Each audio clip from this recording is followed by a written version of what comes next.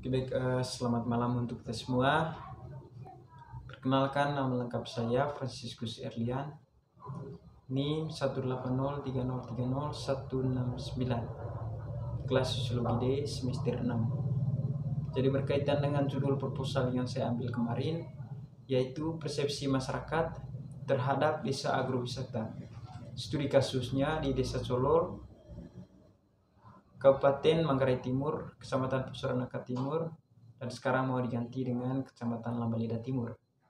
Baik, adapun penerapan dalam menggali informasi ataupun menggali penelitian yang saya ambil, terlebih khusus dalam metode penelitian kualitatif, di mana dengan melakukan teknik wawancara. Nah, di samping saya telah hadir narasumber saya dan beliau merupakan salah satu masyarakat di Desa Colo. Jadi mungkin waktu dan kesempatan saya berikan kepada beliau untuk memperkenalkan nama. Ya, baik, terima kasih. Perkenalkan nama saya Pudiensyana Does Malius. Terima kasih saya kembalikan. Ya, jadi itu saja perkenalan nama dari saudari tadi. Oke baik, uh, ada pun beberapa rancangan pertanyaan yang saya mau sampaikan atau yang saya mau tanyakan kepada saudari berkaitan dengan desa agrowisata itu sendiri. Ya. Baik, eh, langsung saja. Kira-kira sejauh mana pemahaman Anda sebagai masyarakat Solo mengenai desa agrowisata itu sendiri? Oke baik, terima kasih untuk pemahaman saya sebagai masyarakat yang bertempat tinggal di Desa Colol untuk desa agrowisata ini yaitu objek wisata yang di sini kami memanfaatkan pertanian kami sebagai objek wisatanya. Oke, uh, jadi di sini masyarakat Colol ini memanfaatkan lahan ataupun pertaniannya sebagai objek wisatanya. Iya. Nah, kemudian saya lanjut ke pertanyaan yang berikut. Kira-kira tujuan dari desa tersebut mengagrowisatakan pertaniannya yaitu untuk apa?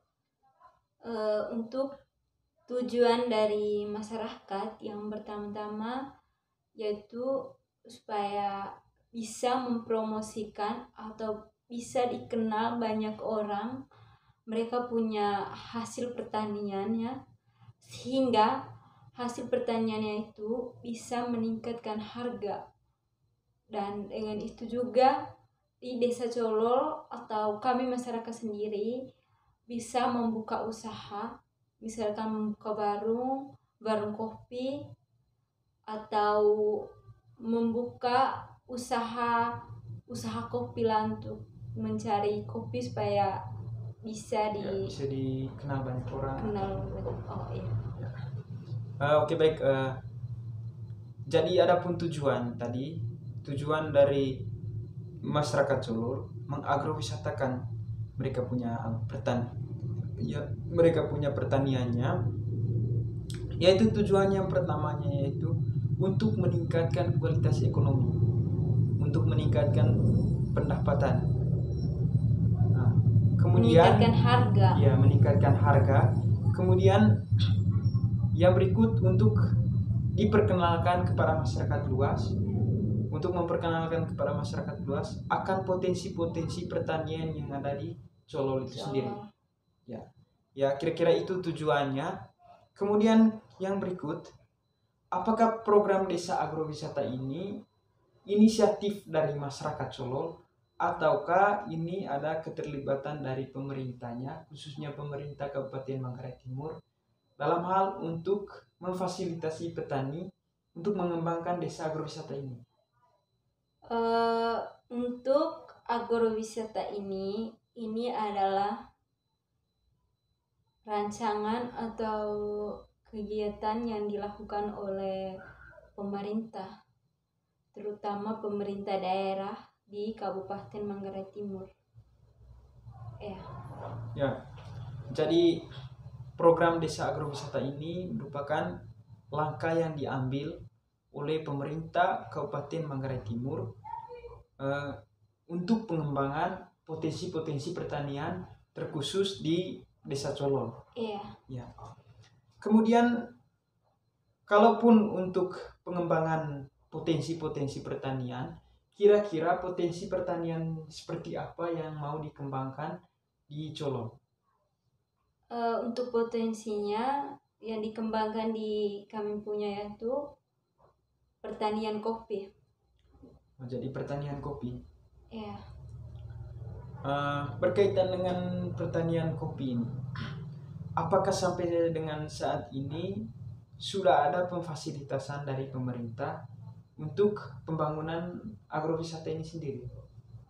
Eh, untuk dari pemerintah sudah ada. Yang pertama mereka sudah membuka jalan jalan ke kebun ke kebun kopi seperti setapak dan yang kedua sudah membuka warung di desa Colol ini.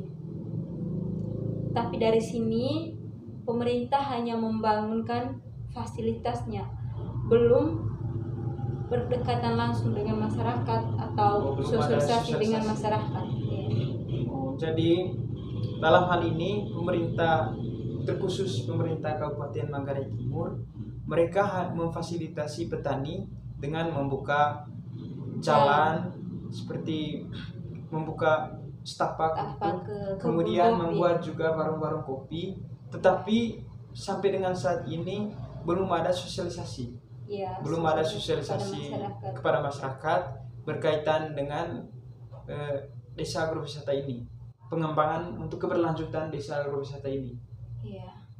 no. Nah, kemudian berkaitan dengan harga tadi su- saudari sudah menjelaskan bahwa salah ada pun tujuan di tujuan yaitu untuk yang pertama peningkatan nilai ekonomi tentu di dalam peningkatan nilai ekonomi ini berkaitan dengan harga. Ya, kira-kira sampai dengan saat ini, apakah ada peningkatan yang signifikan berkaitan dengan harga kopi atau malah menurun? Eh, untuk sampai saat ini peningkatan harga kopi masih tetap Oh, masih tetap, tetap belum ada peningkatan. belum ada peningkatan. Kemarin ini mas kami masyarakat sudah merasa senang karena adanya agrowisata ini, tetapi belum ad- belum ada kejelasan sampai sekarang. Makanya hasil kopi kami dan harganya masih tetap. Oh, berka- berarti harganya masih tetap tidak eh, berpengaruh terhadap nilai ekonominya gitu. Eh, untuk nilai ko- ekonominya ya pasti berpengaruh karena jujur saja di sini kami masyarakat Solol untuk pertanian kopi ini adalah pertanian yang paling kami andalkan. Karena ini adalah pertanian salah satunya yang kami jalani di ini di kami punya pertanian. Dan untuk ekonomisnya kami sangat membutuhkan dari pertanian ini karena nilai ekonomis dari pertanian ini adalah nilai ekonomis yang paling ya lumayan Diandalkan. begitu dari pertanian yang yang lain. Kira-kira eh, bulan-bulan panennya itu untuk kopi itu sendiri bulan berapa saja? Oh, untuk bulan panen dari kopi dari bulan 5 sampai bulan 7. Oh, dari bulan 5 sampai dengan bulan 7. Iya. Uh, ini menjadi uh, realitas mungkin ya. Iya. Ketika bulan pasca panen, tetapi ketika bulan belum panen, sekitar bulan 1 sampai dengan bulan 4, kira-kira masyarakat Solo ini melakukan apa saja? Eh, untuk apa untuk bulan tidak panen masyarakat Solo Hanya untuk menunggu. ekonomi mereka itu mereka melakukan ijon Eh, untuk ijon di sini maksudnya mereka mengambil luluan uang sebagai apa sebagai untuk memenuhi kebutuhan mereka sehari-hari dengan itu supaya jika saat pemaneman kopi. Uang itu akan digantikan dengan kopi. Oh jadi mereka ambil duluan uang, uang. Habis pasca panen nanti eh, kopi hasil panennya itu diserahkan kepada katakanlah pihak korporasi atau pemilik modal. Oh ya untuk eh, tentunya pasti harganya juga berbeda ya. iya harganya juga berbeda.